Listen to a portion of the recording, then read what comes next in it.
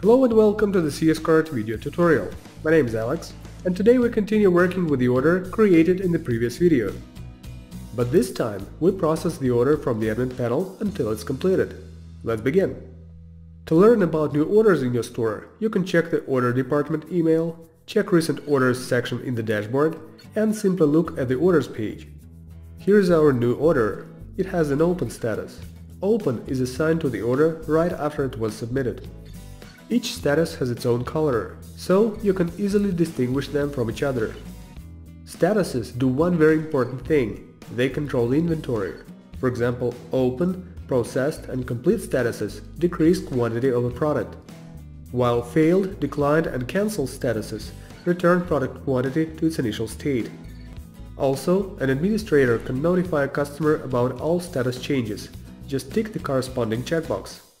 Click on the order title to get access to details and start processing it.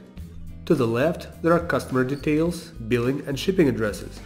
At the center of the page, we have a number of tabs that affect the order processing, product-related information with totals, and notes left by a customer or a staff member.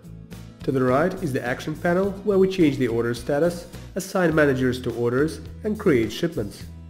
All of this is located on the General tab. On the Add-ons tab, all add-ons related to this order are presented.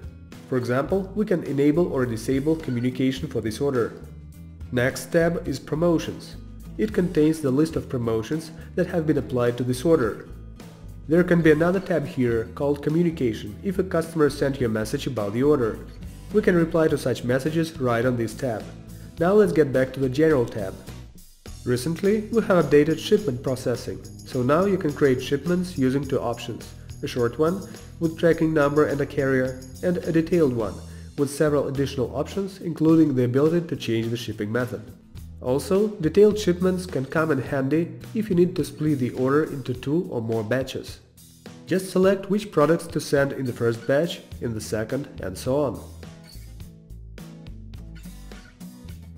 After we filled all the required fields, we can change the status of the order to processed for example and notify a customer about a new shipment. All shipments are contained at Orders Shipments. Shipments also have their own statuses to make it easier to manage them.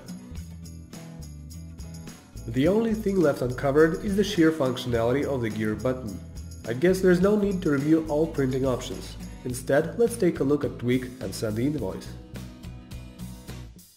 Clicking this button will take you to a separate page where you will see an invoice for this order. You can change the content of this invoice and send it straight to the customer. A PDF document with the invoice can also be attached. You can still edit the order. Just click the Edit Order button and tweak the order as much as you like. And the Copy button creates a copy of the order, which saves much time if you need to create lots of similar orders. The processing is finished when you receive the money and customer receives an order and has no complaints about it. And after that you can set the order status to complete. That's how you process orders in CS-Cart. Thanks for watching and see you in the next CS-Cart videos.